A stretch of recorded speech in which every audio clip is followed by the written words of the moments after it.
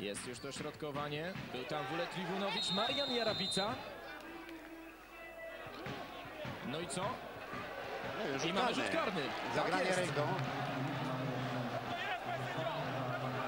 E, Za moment zobaczymy całą tę sytuację w powtórce dośrodkowanie Marka Bazika. I tutaj widzimy. No i ja jeszcze tutaj nie widzę zagrania ręką, szczerze powiedziawszy. Marian Jarabica, on by miał być tym, który zagrywał.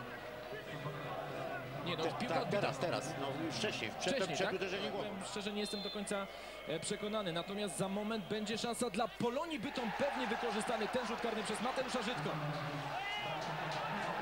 89 będziemy mieli minuta. jeszcze mamy emocje e, w tym meczu.